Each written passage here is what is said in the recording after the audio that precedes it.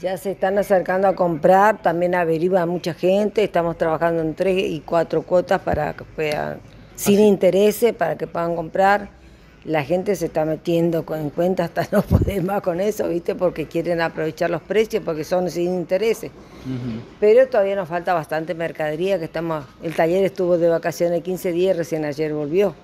Así que no, quedó suspendida las, las cosas que se estaban haciendo y ahora empezamos de vuelta, bueno, estamos haciendo de a poco. Pienso que vamos a llegar a tiempo con todo, pero la falta de telas son el problema. Hay telas que no hay, se fundieron con la pandemia, cuesta conseguir para todos lados. Así que en ese tema estamos todos los días guerreando.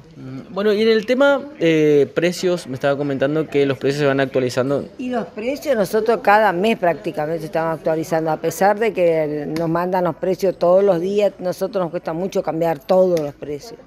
Entonces hacemos una vez al mes prácticamente. Y ahora, esto hace dos semanas que se puso los precios nuevos, veremos cuándo vamos a poner otro.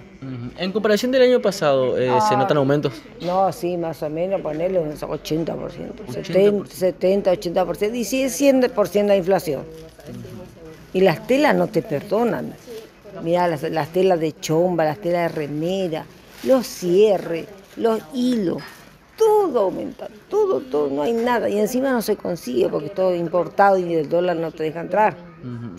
Bueno, por ahora falta todavía un tiempo para que las clases empiecen. ¿Usted qué le recomienda a la gente que venga, y que, que compre? aprovechen ahora que no hay gente, que vengan y saquen por tres o cuatro cuotas y que ah, por lo menos los talles que tenemos ya le podemos vender. Bueno, muchas gracias. No, de nada.